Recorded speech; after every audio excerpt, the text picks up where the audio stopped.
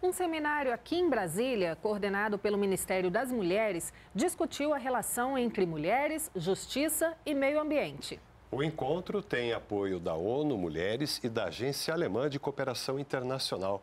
As propostas e sugestões apresentadas vão ser levadas à Conferência das Nações Unidas sobre Mudanças Climáticas, a COP28, que vai ocorrer em Dubai, nos Emirados Árabes.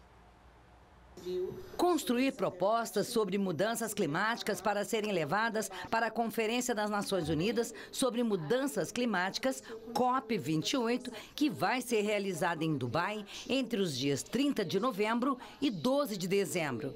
Com esse intuito, cerca de 150 mulheres e representantes de organizações e entidades de mulheres de todos os biomas brasileiros estão reunidas em Brasília. Dona Maria das Dores é da comunidade quilombola de Pedro Rosário, no Maranhão, e sabe da importância de cada uma delas nas decisões sobre o clima. Nós, como mulheres, nós temos que estar empoderadas, nós temos que saber que nós que geramos vidas, que nós que conservamos nossos quintais, nossas hortas.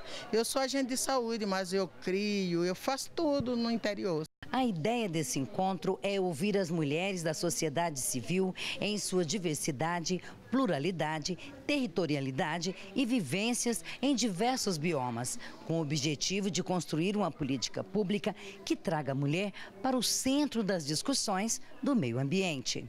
Nós não queremos participar da COP simplesmente por participar da COP, mas nós queremos que a COP traga para as mulheres resoluções e recomendações que resolvam a nossa vida cotidiana.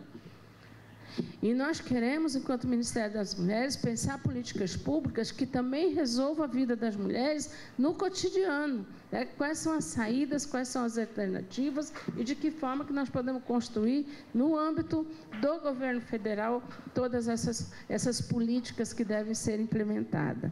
Alguns estudos demonstram que as mulheres são as mais impactadas pela emergência climática, por serem maioria entre os grupos vulneráveis e eventos naturais extremos. Por isso, o objetivo é promover uma inclusão justa com a participação nas decisões sobre os impactos do clima no mundo e o aumento de temperatura, a redução das chuvas ou é, a concentração de chuvas, isso tem significado em projeções bastante alarmantes para a vida de todos nós, com ampliação da ocorrência de desastres e de doenças mas obviamente são as populações mais vulneráveis aquelas que serão mais impactadas, e particularmente as mulheres. As mulheres negras, indígenas, quilombolas, periféricas, pobres, eh, são essas as que mais estão vulneráveis aos impactos climáticos.